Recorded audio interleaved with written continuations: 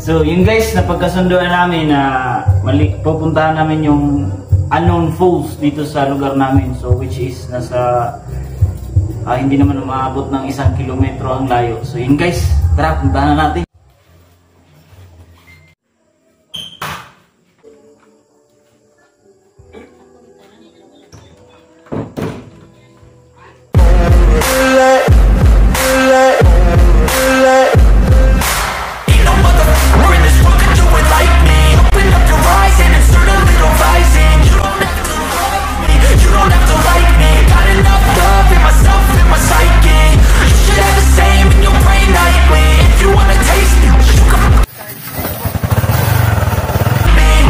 Cruising in my lane fast, call it high speed I've been working hard, yeah, I've been working nightly If you think Guys, ganito lang kalapit ang pupuntahan namin. Napakalapit lang ng falls at ito pababa na kami. At itong falls na to guys ay ngayon ko pa mapupuntahan. So, yun guys. Ah, tingnan natin kung gaano kaganda ang falls na ito.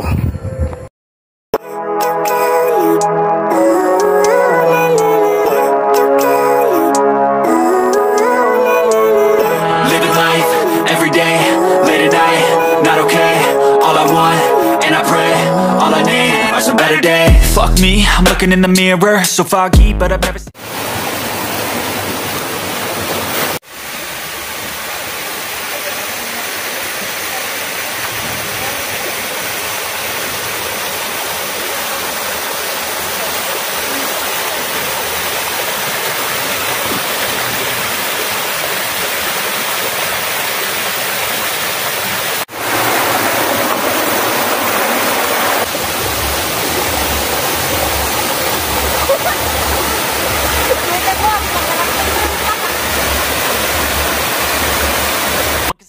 And honestly I'm not really sure I want saving. I like to be my own worst enemy. There's no risk if you don't try at anything. So I'ma just keep buying everything. See you in the next life, have to be a better me. I don't think that my head's on straight. Gotta flip it and grip it and go and get an x-ray. What's wrong with me? I just feel weight. Pushing on my chest and it squeezes till I suffocate. Better change my mindset, meditate. It's pretty cool that I'm alive and have better days. I could walk, see, hear, I should celebrate. Think I could change my mind, maybe elevate